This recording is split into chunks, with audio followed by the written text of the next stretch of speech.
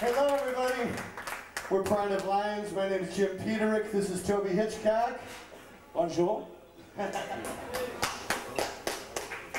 we have a new album out, which uh, coincidentally we're selling right over there. And after our set, we'd love to meet you, and we'll we'll sign it or whatever. Hey, uh, can anybody get me a towel? That sounds like a good idea. That would be good.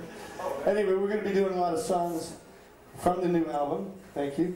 We're also going to be doing some songs from uh, uh, my time when uh, I was with Survivor, and also some songs I had the pleasure of writing for for other bands like 38 Special and Sammy Hagar. So we're going to do a little of everything. As you can see, we don't have our band here yet.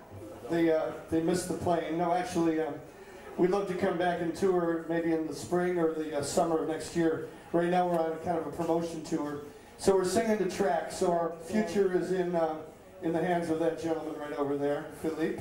Uh, we'd like to do a new song from the Pride of Lions record. This is called Gone.